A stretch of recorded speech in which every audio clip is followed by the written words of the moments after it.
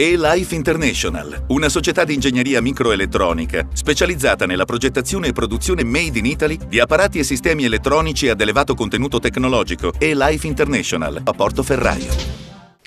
La Fondazione Cassa di Risparmi di Livorno ha compiuto 20 anni e questa è stata l'occasione per fare il punto sui progetti finanziati per la valorizzazione delle residenze napoleoniche dell'Elba. Ieri alla Gran Guardia, nel corso di una conferenza stampa, si è parlato delle diverse proposte avanzate dalla Soprintendenza per i beni culturali e della direzione del museo e realizzate con il contributo della Fondazione, che ha permesso di ricostruire l'aspetto originale delle residenze durante il soggiorno di Napoleone. Ma non solo, i restauri ancora in fase di realizzazione, il recupero di suppelletti livari, le mostre, le conferenze e i volumi pubblicati.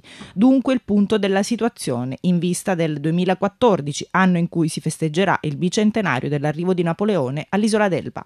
È dal 2004 che noi abbiamo eh, iniziato un percorso per la valorizzazione delle residenze napoleoniche all'isola d'Elba, quindi noi intendiamo anche in vista del 2014 proseguire su questo cammino. Noi continueremo sicuramente il nostro percorso che è un percorso fra l'altro molto interessante perché coinvolge anche progetti europei. Il percorso continua e stiamo preparando però il grande evento del 14 eh, virtualmente è tutto pronto e dobbiamo però eh, trovare il modo di finanziare almeno alcuni eventi. Eh, innanzitutto eh, colgo l'occasione per ringraziare la Fondazione di questa fattiva collaborazione. Il, il, il programma è quello di procedere mh, anche al recupero de, degli interni, de, soprattutto della, della Villa Mulini perché eh, ormai abbiamo proprio la, la certezza filologica di quale fosse eh, l'arredo originale e le finiture artistiche. Gli interventi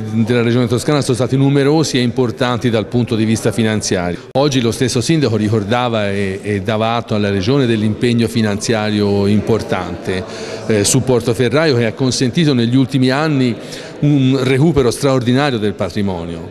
Io credo che il centenario napoleonico 2014 sarà l'occasione per valorizzare adeguatamente questo patrimonio restituito. Noi come Comune diciamo, siamo partner importanti all'interno di questo progetto che vede protagonisti anche la Regione, la Sovrintendenza e il Ministero.